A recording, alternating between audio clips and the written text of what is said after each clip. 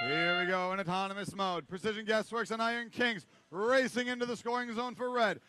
Panther Tech 292 meeting them there. Points, says a referee for the Red Alliance. The Red Alliance was able to get all three robots completely within the auto zone, giving them the robot set and a four point bonus coming into driver control. Illuminosity over on blue. They're already at the blue human load station. They've got two totes in their robot, getting ready for a third. 71 already with two totes on their machine coming out of the landfill. 829 Digital Goats adding some litter to their recycling container. Now getting ready to line up at that ramp they have out in front of their human load station. Illuminosity now with five totes ready and in their stack. Precision Guessworks down on the red side. They've got a container. It falls off. They've got one tote inside of their robot. 292. Panther Tech. They've got two co-opetition totes on their robot. Meanwhile, Iron Kings. Oh no, Panther Tech. Looks like they may have dropped those. Hopefully they'll be able to salvage at least one of those. Yellow totes. Iron Kings. They've got a recycling container with litter. Now they place it on top of a single tote.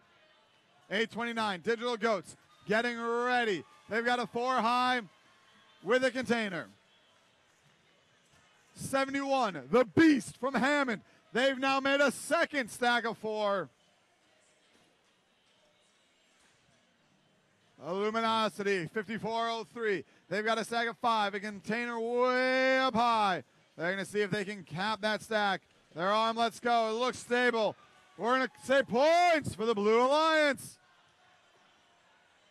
Iron Kings, 5402, looking to place a two high stack container and litter.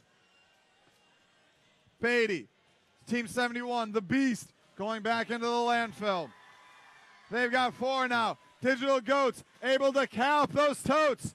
They turn a four stack into a six stack, and they add a container and litter as they do it. 71 now, pulling four more totes out of the landfill. Penalty for the Blue Alliance for a litter coming in after the 20 second buzzer. But the Digital Goats, they take that, they score it on that four stack with seven seconds to go. Precision Guesswork, 1646. They got that tote sorted. Now they move it onto the scoring zone. Looks like we had one more penalty here on the red side. We'll confer with our referees. That red foul is for a human player throwing litter after the 20 second buzzer.